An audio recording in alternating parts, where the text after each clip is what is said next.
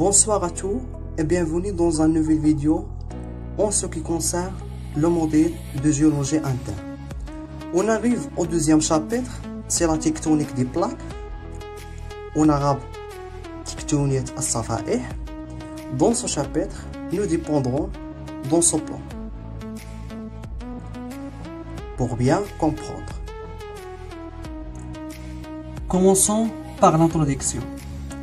La tectonique des plaques caractérise l'ensemble du mouvement des plaques plus ou moins rigides, constituant la terrestre. Cette théorie se base sur l'étude des fonds océaniques. On distingue 15 plaques. Chaque plaque présente 100 km d'épaisseur. Il y a 9 plaques mixtes et d'autres sont océaniques. On passe à les frontières des plaques. Il y a trois types de frontières, ou bien les limites, divergents, convergents, transformants, ou bien coalescents. Dans ce vidéo, nous concentrons sur les frontières divergentes. Très bien. Dans ce cas, les plaques s'éloignent en sens opposé.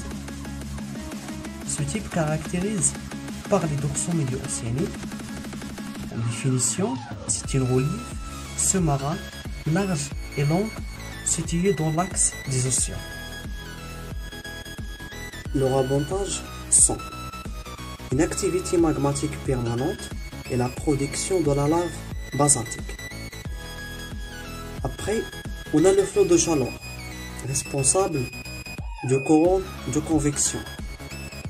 وما يعرف بتيارات الحمل الحراري et aussi, on a une sismicité permanente. On passe à la morphologie océanique. Pour découvrir les reliefs du fond océanique, on utilise la technique de bathymétrie. Cette technique permet de définir la structure de l'océan. On obtient la plateau continental, le talus continental, la faille transformant le fosse océanique, le dorsal médio-océanique et la plaque abyssale.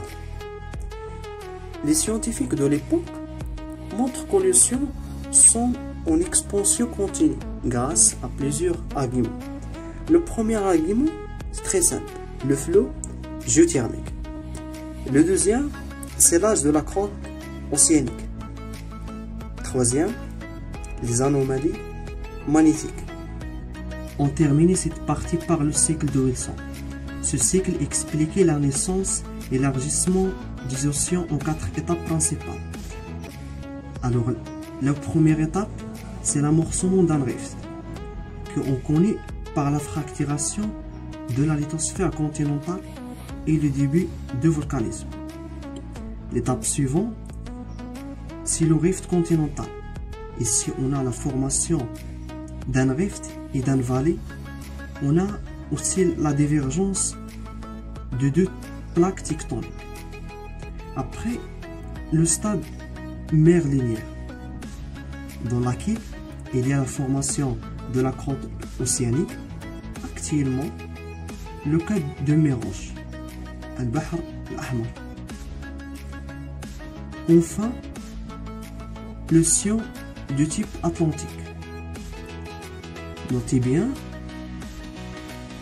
dans cette étape, il y a l'amincissement de la croûte océanique et l'accumulation de sédiments.